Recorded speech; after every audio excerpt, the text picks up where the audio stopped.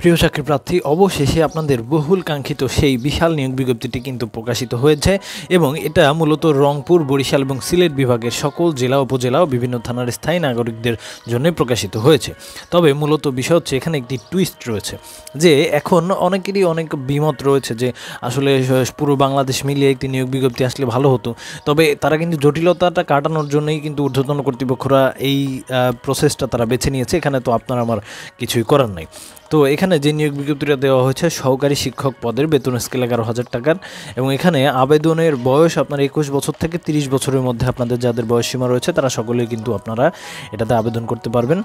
এবং যাদের বিভিন্ন ধরনের কোটা রয়েছে, শারীরিক প্রতিবন্ধী বা মুক্তিযোদ্ধার সন্তান, সেক্ষেত্রে তারা একুশ থেকে বত্রিশ বছর পর্যন্ত তারা আবেদন করতে পারবে। এবং এটাতে কিন্তু শিক্ষাগত যোগ্যতা চাওয়া হয়েছে কোনো স্বীকৃত বিশ্ববিদ্যালয় হতে দ্বিতীয় শ্রেণি বা সমমানের সিজিপিএ চার স্কেলে ন্যূনতম দুই পয়েন্ট দুই পাঁচ পাঁচ স্কেলে ন্যূনতম দুই পয়েন্ট দুই আট, স্নাতক বা সম্মান বা সম্মানের ডিগ্রি। মানে আপনারা যারা অনার্স বা ডিগ্রি কমপ্লিট করছেন, তারা কিন্তু এটাতে ঢুকতে পারবেন। তো মূলত সরকারি প্রাথমিক বিদ্যালয়ের রাজস্ব খাতভুক্ত সহকারী শিক্ষক যে পদটি রয়েছে, সেই পদেরই কিন্তু এই নিয়োগ বিজ্ঞপ্তিটা আসলে ছাড়া হয়েছে। এবং এটাতে আপনারা যারা আবেদন করতে চান, তারা আবেদন করতে পারবেন দশ তিন দুই তারিখ সকাল দশটা থেকে এবং চব্বিশ দিন দু হাজার তেইশ তারিখ পর্যন্ত। এবং আমি কিন্তু অসংখ্যবার আপনাদেরকে বলেছি যে খুব দ্রুতই কিন্তু প্রাইমারি নিয়োগ বিজ্ঞপ্তিটা প্রকাশিত হবে এবং পূর্বেও একটি রেকর্ডেড ভিডিওতে বা আমরা দেখিয়েছি যে অসংখ্য মানুষ যারা কিনা আমাদের কাছ থেকে বই সংগ্রহ করেছিল, তারা কিন্তু আগে জব পেয়েছে যে আগের সার্কুলারে তো আপনারা যারা নিজের যোগ্যতা চাকরি পেতে চান এবং ঠু মানে খুব ভালো করে একটি প্রিপারেশান নিতে চান একটি বই থেকে, সেজন্য আমাদের বইটা রয়েছে কুরিয়ার চার্জ সহ তিনশো আশি টাকা দাম পড়বে। সুন্দরবন কুরিয়ারের মাধ্যমে তিনশো আশি টাকা পড়বে আমাদের বইটার দাম।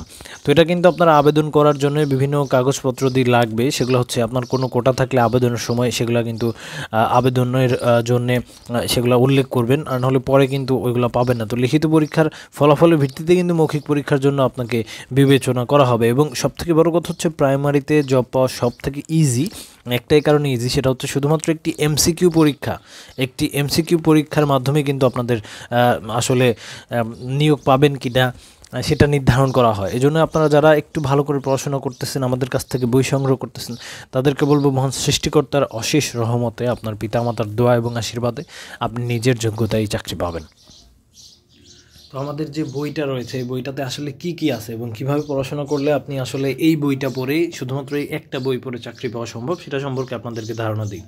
সেটা হচ্ছে আপনারা যদি আমাদের সূচিপত্রটা দেখেন, এখানে দুই হাজার উনিশ সাল, দুই হাজার বিশ সালে অনুষ্ঠিত হওয়া বিগত সালের প্রচুর সংখ্যক কোশ্চেন রয়েছে এবং একদম দুই হাজার সালের পর থেকে যতগুলা প্রাথমিক শিক্ষক নিয়োগের পরীক্ষার প্রশ্ন হয়েছে, সবগুলা প্রশ্নের ব্যাখ্যা সহ সমাধান রয়েছে।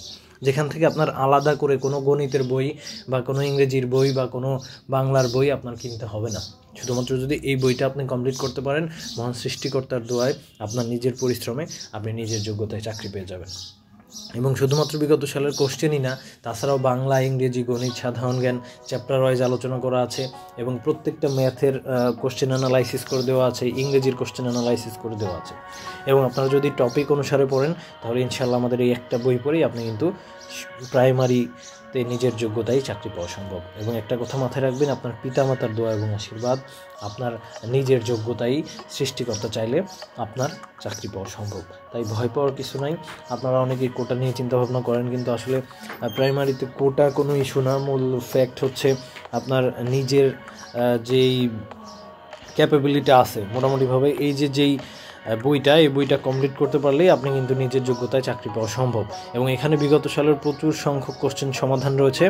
তাই অবশ্যই এই বইটা সংগ্রহ করবেন এবং এই চ্যানেলে আপনি যদি নতুন হয়ে থাকেন, এই চ্যানেলের সকল ভিডিও সমূহ দেখবেন এবং চ্যানেলটিকে সাবস্ক্রাইব করে পাশে থাকা বেল আইকনে ক্লিক দিয়ে রাখবেন। ধন্যবাদ সবাইকে।